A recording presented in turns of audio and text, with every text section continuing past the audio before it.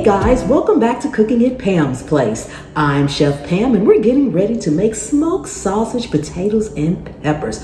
Oh my goodness, it is so delicious. And if you want to learn how to make all kind of homemade food and dishes, easy, simple, made from scratch, take a second and subscribe to the channel. Turn on the notification bell. Make sure it's set to all so you'll always get my videos every time I upload one. And then just keep hanging around the channel because I have a whole channel full of recipes that'll get you there. Let's get busy. We are back and we're going to go over the ingredients for our smoked sausage, potatoes, and peppers. First of all, let's start off with the star of the dish, our smoked sausage. Now I'm using Eckrich smoked sausage. This is pork smoked sausage, but if you don't eat pork, don't want pork, feel free to substitute beef sausage or turkey. So you have no excuse on that end. Okay, we're also going to be using a mix of colored peppers. I have red, green, and orange. We've got some cooked and crumbled bacon. I'm using a red and yellow onion and some potatoes. We've got to have our potatoes. Now, these are just small, regular white potatoes. You can use any kind of potatoes you like. I've got some homemade garlic powder and onion powder made from the garlic and onion I grew in my garden, as well as some dried thyme from the thyme I grew in my garden. So just use whatever you have, garlic, onion powder, and some thyme. Of course, we'll need our salt and pepper. Okay, I think that's it. Time for us to get all of this chopped and prepped so we can get this thing. I'll be back. So the first thing we're going to do is peel and cut our potatoes. You can use a potato peeler. I like to use a paring knife.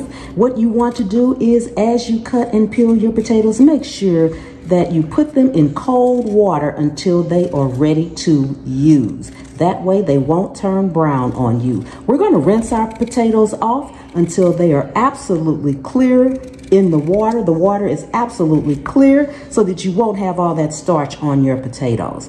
So let's go ahead and get these all cut up.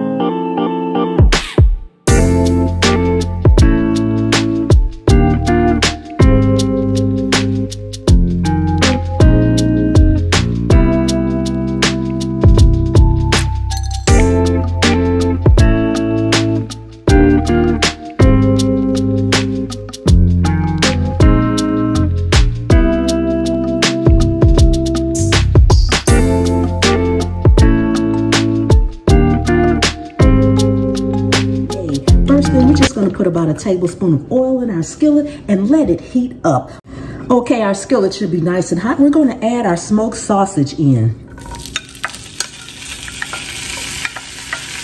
Just want to cook this until it's nice and golden brown on both sides. And remember guys, just come back to the video, drop down in the description and you will see all the exact measurements and ingredients for this dish.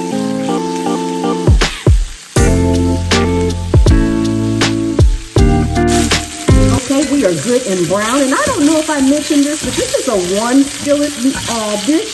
So we're going to be cooking everything in this one skillet. Go ahead and remove your sausage. Drain it on some paper towels so that when we add it back in, it will not be greasy. Now we're going to go in with our potatoes.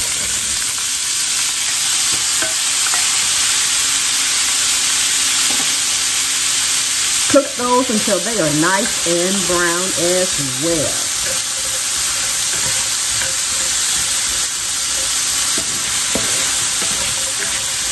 They're going to pick up all the color and the flavor from the sausages, and that's exactly what you want. Okay, we'll be back when they start to become tender. Okay, our potatoes are looking good and they are smelling even better. I wish you guys could smell this. Now we're going to go in with just a couple of tablespoons of butter. Adding that extra layer of flavor for our veggies. Before we add in our veggies, and while we let our butter melt in here, we're going to go ahead and get everything all seasoned up.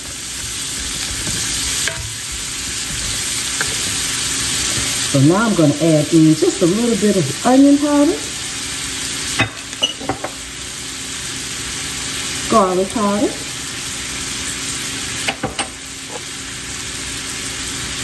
thyme, Himalayan salt, black pepper.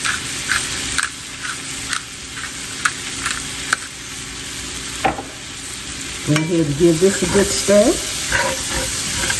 Man, this smells good. Now we're going to add in all of our veggies. Now I'm going to show you a little trick in the end, so hang in there with me till the end so that you can see exactly what we're going to be doing. Go ahead and give this a stir and let those veggies start to cook down some. Oh my goodness, the color, the smell. Mmm, mmm, mmm. Delicious!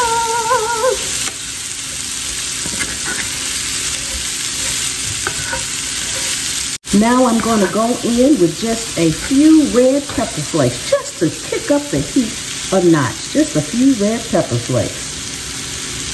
If you don't want the, a little kick in there, then you can simply just leave those out. Now we're going to go in with our bacon. Oh my goodness, guys, everything is better with bacon. Oh my goodness. Again, if you don't want the pork, you can leave it out and you can use turkey bacon. Now let's go ahead and add our sausage back in. And draining on these paper towels. Go ahead get that in. Oh my goodness, this is looking and smelling amazing. Mm, mm, mm, mm, mm.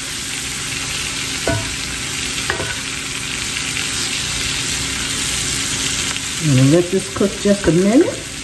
And then I'm going to show you a little trick to make sure all these flavors blend in together.